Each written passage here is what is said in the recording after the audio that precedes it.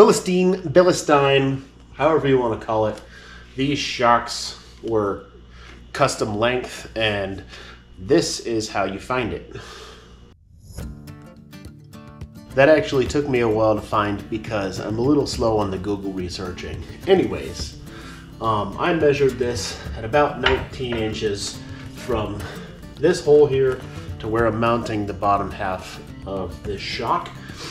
So this is gonna go up through the hole and this will mount into a stud.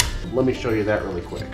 So this truss actually came with a little mounting spot for your shock to go and it's meant to mount in between this hole and another hole that's way back here but because I moved these shock mounts backwards three inches they actually cover the hole the shock is supposed to go into so now I'm wondering how do I mount the lower half of my shock and I think I've come up with a solution for just that here's all the parts that came with the shock that I bought and this parts list shows that it has two sleeves which push into that lower mounting hole.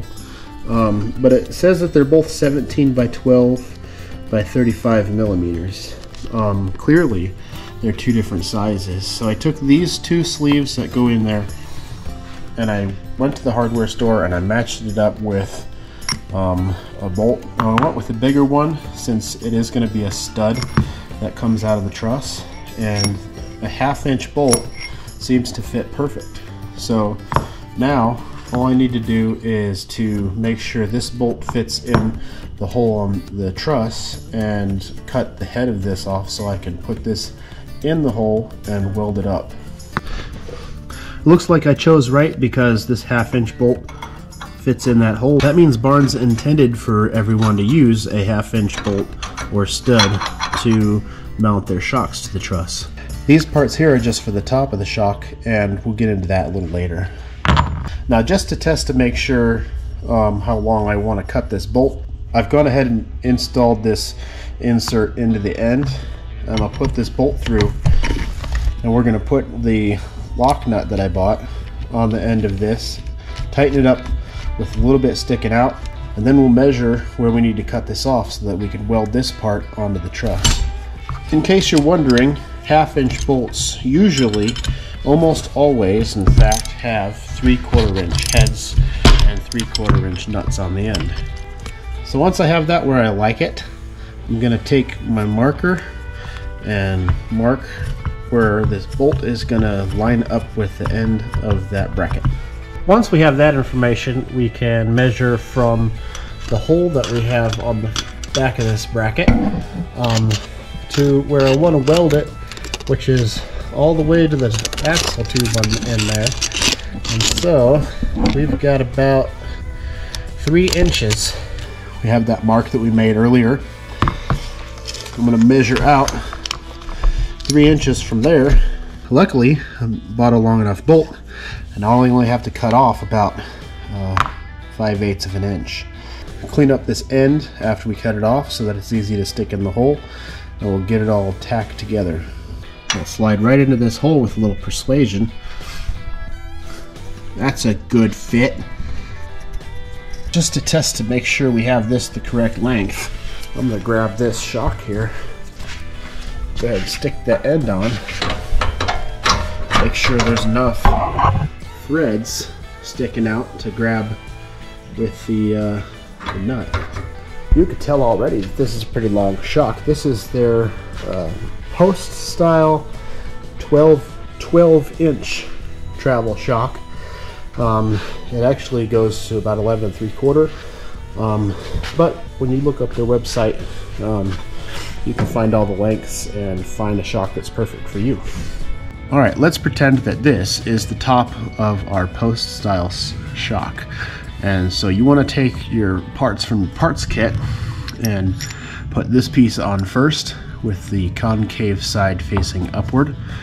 And then this rubber piece, you would think that this little indent or outdent or whatever you would call that would face toward that because they kind of fit together. However, that piece that sticks out right there is designed to hold the top post of the shock in that hole.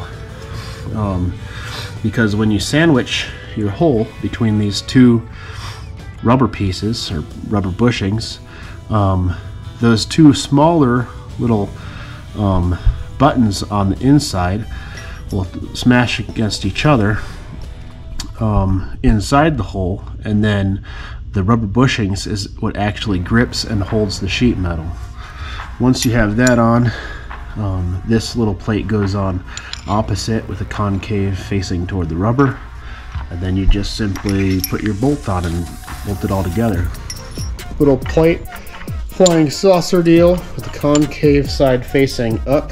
Then I'll put this bushing with this part facing up. And now we're ready to collapse the shock and shove it up through the hole.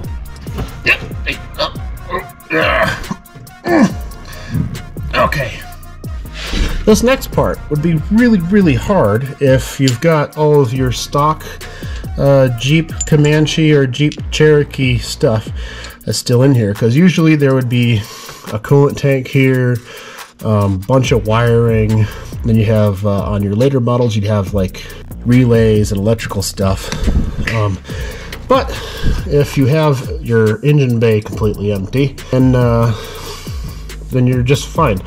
Trust me, if you've got everything in under the hood on a Jeep Comanche or Jeep Cherokee, the driver's side is the really difficult side. So I like to tighten shocks down till I see a little bit of squish in the bushing.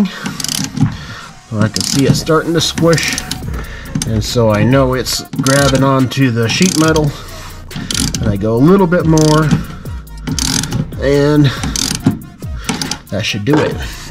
If you're doing a lift for a Jeep Comanche or Jeep Cherokee, I recommend going to that website and looking up exactly what size you want instead of just putting your make and model because a lot of companies will not do the research and find out the exact shock you need.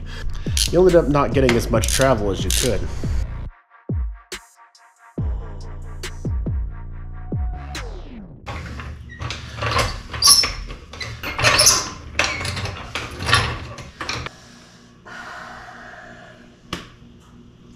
Well, that was really dumb of me. I almost bent my shock, and I'm realizing now that um, the old jack that I have is just way too short and it's not safe. So I actually spent some money and went and got this Badlands jack from Harbor Freight.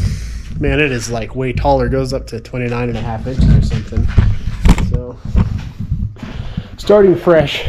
I've got this flexed out exactly how I want it which is about 12 inches, 11 or 12 inches of articulation in the front.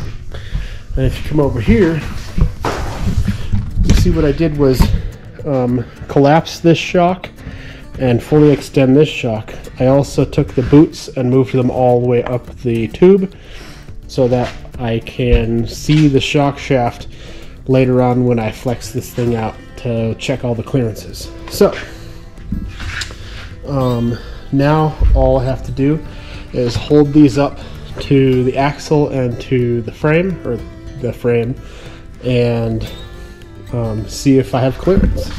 Now it's just a matter of holding this at a certain point and finding out um, where I can put that bolt and uh, also not touch the frame right here because that would be really bad. I'd have bent shocks all the time. So um, I think I've got it figured out.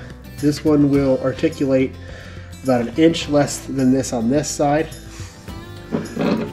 And it won't hit the frame right here. And I don't have to move this uh, upper mount hole. Then when you go to this side and you put the both ends of the shock in the same spot that you just talked about, and because this shock is extended one inch, um, it lines up perfectly with where I plan to put that bolt. So I think I figured out my new mounting location, which is only an inch off of the original spot.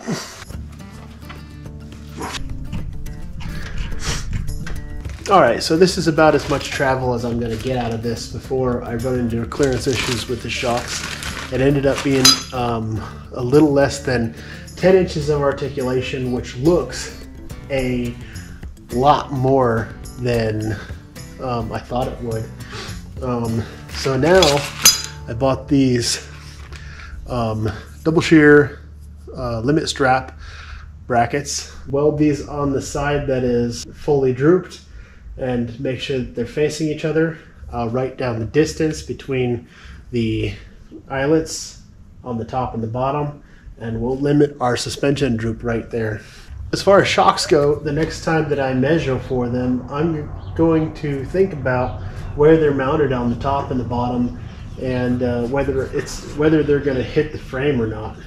So all my clearances are good. I've limited my up travel. I'm about to limit my down travel and we can move on to the next project. Don't forget if you like my video, subscribe and hit the notification bell so YouTube can tell you next week when I come out with another video. Who welded this?